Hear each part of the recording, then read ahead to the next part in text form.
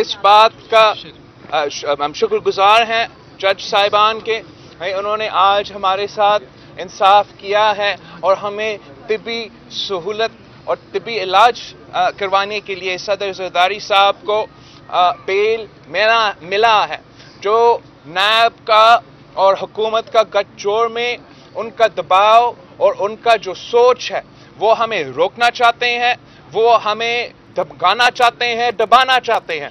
آج بھی انہوں نے فریال تارپور صاحبہ کی کیس میں نیب نے اپنے جو کامنٹس ہے، اپنا جو رسپانس ہے، وہ وہ نہیں لے کر آئے اور اس کیس میں ہمیں آپ سکسٹینتھ تک انتظار کرنا پڑے گا۔ اگر یہ نیب اور یہ حکومت سمجھتی ہیں کہ ہم اس قسم کے ہتھ کنڈوں کی وجہ سے ان کے دباؤ میں آئیں گے۔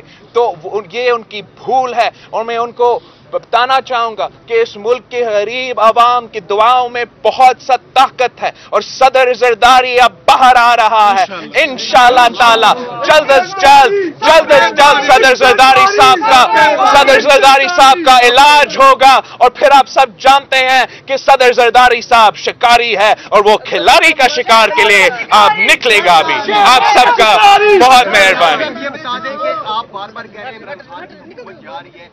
کن حلقوں نے آپ کو یہ نوید سنائی ہے کہ جنوری کے پہلے منتھ میں، پہلے منتھ میں الیکشن ہوں گے؟ کیا کہتے ہیں؟ کون سے حلقے جو آپ کو یہ کہہ رہے ہیں کہ یہ پاکستان کے عوام کا خواہش ہے۔